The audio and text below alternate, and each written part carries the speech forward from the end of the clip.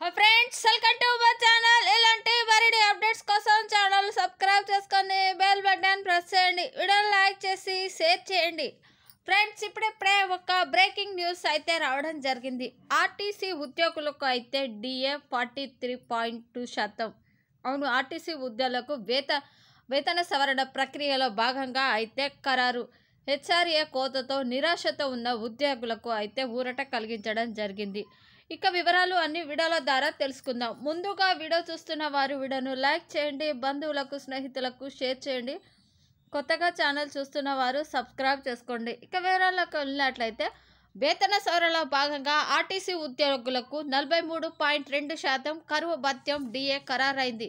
వేతన సవరణ అనంతరం ఉండే మూల వేతనంపై అంతమేర కరువు భత్యాన్ని లెక్కించి జీతంలో భాగంగా చెల్లించనున్నారు. ప్రభుత్వం సవరించిన ఇంటి అద్దె భత్యం హెచ్ఆర్ఐ తాజా వేతన సవరణతో ఆర్టీసీ ఉద్యోగులకు అయితే కూడా వర్తించనున్న విషయం తెలిసిందే. హెచ్ఆర్ఏ భారీగా తగ్గిపోవడంతో ఉద్యోగుల వేతనంపై పెద్ద ప్రభావం చూపనుంది. హెచ్ఆర్ఏ కోత వల్ల కోత జీతం ఆశించని స్థాయిలో పెరగలేదు అని ఉద్యోగులు కొంత ఆందోళనతో ఉన్నారు. కానీ ఇప్పుడు మెరుగైన కరువు భత్యం అందుడడంతో ఆ వెలితి కూడా కొంత తీరినట్లే అని వారు ఆనందం అయితే వ్యక్తం చేయడం జరిగింది. ఇదే ఫ్రెండ్స్ వీడియో. వీడియోని లైక్ చేయండి సపోర్ట్ చేయండి.